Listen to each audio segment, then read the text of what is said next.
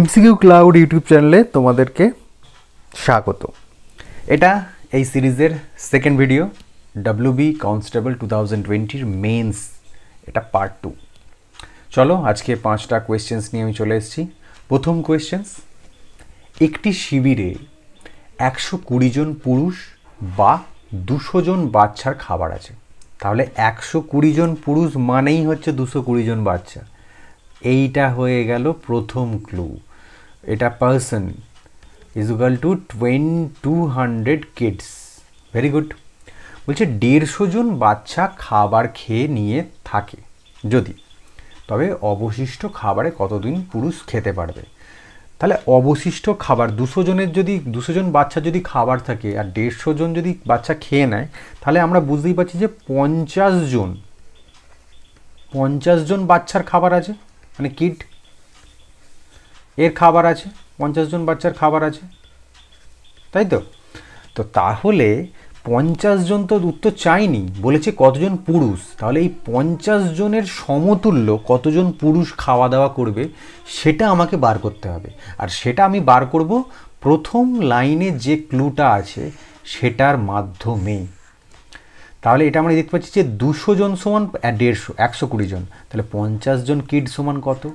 এখন দুশো কিডস থেকে পঞ্চাশ, দুশো থেকে পঞ্চাশ নাম্বারটা আনতে গেলে আমাকে একের ছয় দিয়ে ভাগ করতে হবে, গুণ করতে হবে মানে ছয় দিয়ে ভাগ চার দিয়ে সরি ছাড় তো নয়, চার দিয়ে ভাগ করতে হবে। তো একশো কুড়িকে যদি আমি চার দিয়ে ভাগ করি, তাহলে আমি কত পাবো? তিরিশ। তাহলে তিরিশ জন পুরুষ মানুষ সমানই হচ্ছে পঞ্চাশ জন বাচ্চা। তাহলে তিরিশ জন পুরুষের খাবার অবশিষ্ট রয়েছে। আশা করছি বুঝতে পেরেছ। নেক্সট কোয়েশ্চেনে যাব। এই টাইপের রিজনিংগুলো খুব ভালো হয় ইজি হয় তবে একটু খেয়াল রাখতে হয়। এখানে বলেছে যে মানে এক একটা রং সমান সমান দিয়ে আর একটা রং লেখা থাকে। তো আমাকে মানুষের রক্তের রং চেয়েছে। তো রেড ইজুকাল টু যেটা বোঝাবে, সেটাই আমার উত্তর। এখন আমাকে খুঁজতে হবে যে রেড মানে কি। রেড মানে হচ্ছে ভায়োলেট তার মানে আমার উত্তর হবে ভায়োলেট বুঝতে পারলাম? এটাই হচ্ছে আমাদের উত্তর। এবার আমরা নেক্সট যাব।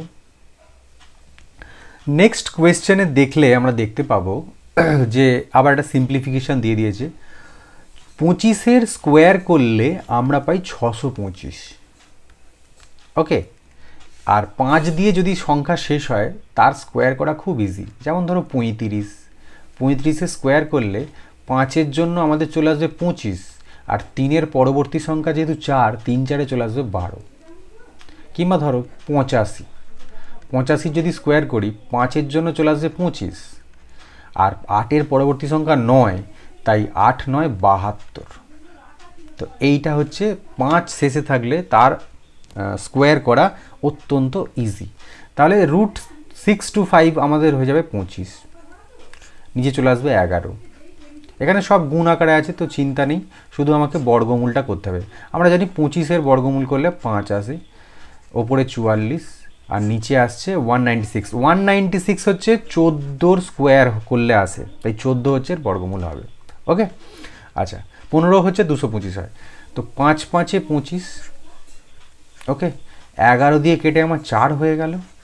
আর চোদ্দ চোদ্দ কেটে গেল। তাহলে চার পাঁচে কুড়ি ছাড়া আর কোথাও কিছু পড়ে নেই, তাই উত্তর হয়ে গেল আমার কুড়ি নেক্সট কোয়েশ্চেনে গেলে আমরা দেখতে পাবো, বলছে যে এই নাম্বার সিকোয়েন্সটাতে এমন কতগুলো ছয় আছে যার আগে হয় এক কিংবা পাঁচ, পরে হয় তিন, নয় বা নয় মানে হয় তিন থাকতে পারে বা নয় থাকতে পারে, হয় তিন থাকতে পারে কিংবা নয় থাকতে পারে। তো মানে এই চারটে কেস ছাড়া আর কিন্তু সম্ভব নয়। ছয়কে রেখে প্রথমে আগে দুটো করলাম, তারপরে শেষে প্রত্যেকের জন্য দুটো দুটো করে হবে, কারণ নয় থাকবে। আর এখানে কোনো জিনিস, তার আগের জিনিস বোঝাতে গেলে এইটা বোঝাবে, আর তার পরের জিনিস বোঝাতে গেলে এটা বোঝাবে। এটা হচ্ছে নাম্বার, সিকোয়েন্সের নিয়ম। তো আমরা একবার খুঁজবো। খুঁজতে গেলে আমরা শুধু ছয় দেখব। এখানে আমরা দেখতে পাবো ছয়। ছয়ের কিন্তু আগে আছে দুই। তাই এটা আমি প্রথমেই বাদ দিয়ে দেবো। এখানে আছে ছয়। ছয়ের আগে আছে পাঁচ, কিন্তু পরে আছে চার। কারণ আগে পাঁচ থাকলে পাঁচ, ছয়, তিনই হতে হবে। কিন্তু এই পাঁচ, ছয়, চার আছে, তার মানে এটাও আমাদের হবে না। আবার এখানে ছয় আছে। নয়, ছয়, এক। নয়, ছয়, এক তো আমাদের ক্ষেত্রে হবে না। কারণ নয় আগে আসবে না। নয় পরেই থাকবে। আচ্ছা এটাও হলো না। আবার এক ছয় তিন হ্যাঁ এক ছয় তিন তো আছে, তার মানে এক ছয় তিন এটা হয়ে গেল। আবার ছয় কোথায় আছে? এই হচ্ছে ছয়, পাঁচ ছয় নয় হ্যাঁ এটাও হবে, এই যে পাঁচ ছয় নয়, ঠিক আছে? এরপরে one six five, one six five তো হবে না, কারণ ফাইভ তো আগে আসবে, যদি আসে, তাহলে এক্ষেত্রে হবে না। এবার দেখব nine six seven, nine six seven হবে না। একেবারে শেষে আছে ওয়ান সিক্স থ্রি তাহলে একটা, দুটো, তিনটে। তিনটে এরকম আছে যার সামনে এগুলো আর পিছনে এসব জিনিসগুলো আছে। মানে আমাদের শর্ত মানছে only three so three is the answer এটাই লাস্ট কোয়েশ্চেন্স দেখো। এখানে দুটো কি দিয়েছে? একটা বাক্য দিয়েছে স্টেটমেন্ট দিয়ে দিয়েছে যে H greater than equal to I সমান যে greater than K less than equal to L এরপর দিয়ে দিয়েছে দুটো জিনিস স্টেটমেন্ট সিদ্ধান্ত দিয়ে দিয়েছে কনক্লুশন ওয়ান কনক্লুশন টু এবার বলছে এই কনক্লুশন দুটো কি সঠিক? দুটোই ভুল, কোনোটা সঠিক, কোনোটা ভুল, এরকম সব জিনিস দিয়েছে। তো আমরা প্রথমে পাচ্ছি H greater than K H greater than K কি সঠিক? এইচ গ্রেটার দেন কে হ্যাঁ এইচ গ্রেটার দেন কে এই সঠিক রাইট কারণ H greater than is equal to এই যে কে সঠিক। যাচ্ছে ইজিলি আসছে। আমরা দেখতে পাচ্ছি ইজিলি আসছে H greater than K L greater than is equal to I এখন এই যে এইখানে হয়ে যাওয়ার পর যে এই চিহ্নটা চলে এলো, এ তো ঝামেলা করে দিল। এটাও যদি এরকম ঘুরে থাকতো, তাহলে আমরা বলতে পারতাম যে L greater than is equal to over হতে গেলে এখানে সমান হতে হতো কিংবা গ্রেটার দেন ইজুকাল টু হতে হতো। কিন্তু এই সাইন চলবে না।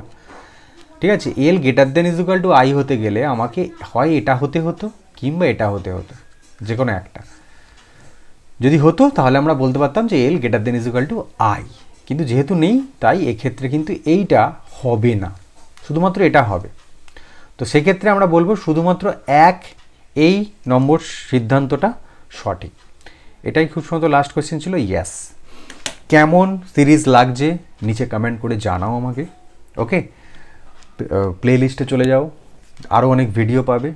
আর যদি এই ক্লাসটার পিডিএফ পেতে যাও, তাহলে অবশ্যই তোমরা টেলিগ্রাম চ্যানেল এমসিকিউ ক্লাউড সেখানে চলে যাবে জয়েন করে নেবে, পেয়ে যাবে। ঠিক আছে? চলো আজকে যাই, আবার নেক্সট দেখা হচ্ছে। বাই